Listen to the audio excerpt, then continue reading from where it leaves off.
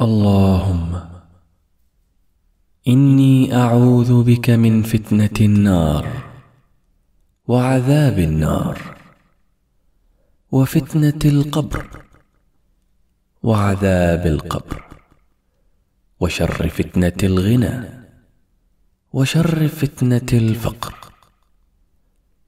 اللهم اغسل قلبي بماء الثلج والبرد.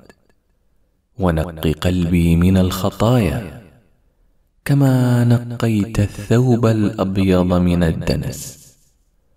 وباعد بيني وبين خطاياي كما باعدت بين المشرق والمغرب. متفق عليه.